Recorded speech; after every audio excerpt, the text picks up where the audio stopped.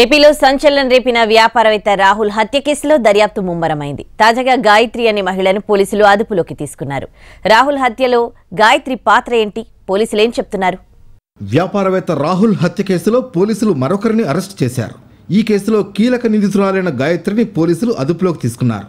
కోరాడ కోగంటితో ఉన్న సంబంధం ఏంటి? రాహుల్ను ఎందుకు చంపాల్సి వచ్చింది అన్న దానిపై గాయత్రి నుంచి కూపీ లాగుతున్నారు.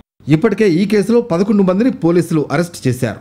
తన కూతురుకు ఎయిమ్స్లో మెడికల్ సీట్ ఇప్పించాలని రాహుల్కు గాయత్రి ఆరు కోట్లు ఇచ్చినట్లు తెలుస్తోంది. అయితే ఇటు సీటు రాకపోవడం అటు డబ్బులు తిరిగి ఇవ్వకపోవడంతో ఆమె రాహుల్ పైన కక్ష పెంచుకున్నారని. దీంతోనే విజయ్ కుమార్ కోగంటి సత్యంలతో కలిసి రాహుల్ హత్యకు కుట్ర పన్నినట్లు పోలీసులు అనుమానిస్తున్నారు.